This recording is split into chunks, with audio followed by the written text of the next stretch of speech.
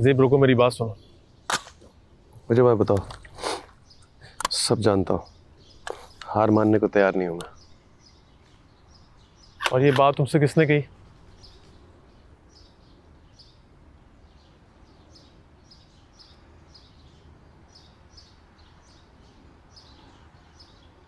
मैं तुम्हें सिर्फ़ इतना कह रहा हूँ कि तुम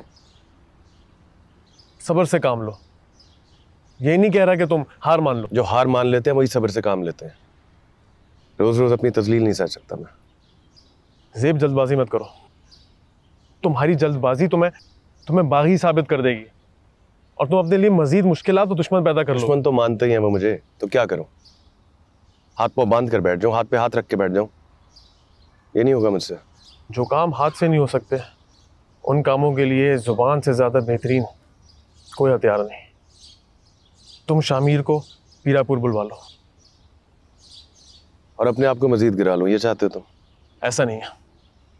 मेरी बात को गौर से सुनो। शामिर एक बेवकूफ़ और एक जज्बाती इंसान है। उसकी इस कमज़ोरी को अपनी मुट्ठी में कर लो। उसकी इस कमज़ोरी से फ़ायदा उठाओ। और वो मेरी बात सुनेगा क्यों? क्योंकि वो कुछ नहीं जानता। कम से कम वो पीरापुर को तुमसे ज़्यादा नहीं जानता। मुझे यकीन है अगर तुम इसका एतमाद जीत लो तो फिर तो तुम चाहते हो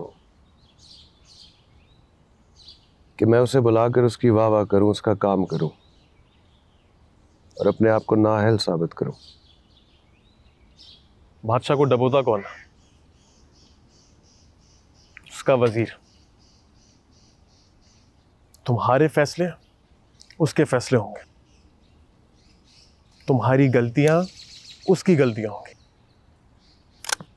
फिर देखना, तुम्हें उसे गिराने से कोई नहीं रोक सकेगा।